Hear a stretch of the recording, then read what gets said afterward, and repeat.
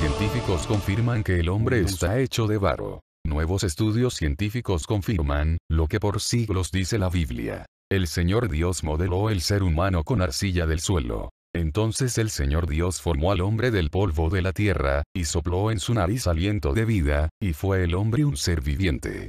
Génesis 2. 7.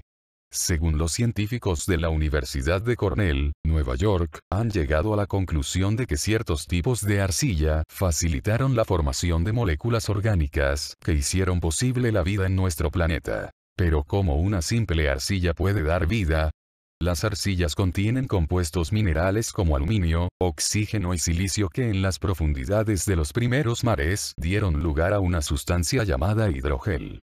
Esta sustancia está compuesta por polímeros, el almidón, la celulosa, la seda y el ADN son ejemplos de polímeros naturales, que conforman una aglomeración de espacios microscópicos. Estos son capaces de absorber líquidos como lo hace una esponja y en las que se producen reacciones químicas de síntesis de proteínas. El hidrógeno ejerció la función de confinamiento de las biomoléculas e hizo posible la catalización de la reacción bioquímica, explica el profesor de Ingeniería Ambiental y Biológica de la Universidad de Cornell, Dan Lugo. Pero, ¿cómo probaron los científicos su hipótesis? Los investigadores hicieron uso de hidrógeles sintéticos que, junto a los aminoácidos, las enzimas y el material celular forman las proteínas que codifican el ADN. Este estudio demostró que esta sustancia puede generarse en las condiciones naturales de la arcilla. Al parecer tiene mucho sentido elemental, ¿qué le parece a usted?